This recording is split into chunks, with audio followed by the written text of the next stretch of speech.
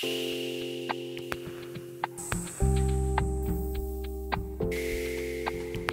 got to listen.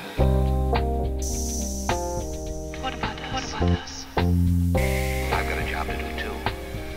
I said I would never leave. Never leave. La interprétation du réalisme, on doit souvent euh, exagérer un peu, qui fait que littéralement on devient, on devient surréaliste, on, exagère un peu la réalité, on, isole des choses, euh, euh, on met des choses hors contexte, qui fait que souvent le- le- le- l'effet est plus, plus grand, plus expressionniste, disons, et que pour ça, on pourrait dire que c'est un surréalisme. Mais je ne me sens pas surréaliste dans le sens de Salvador Dali, par exemple.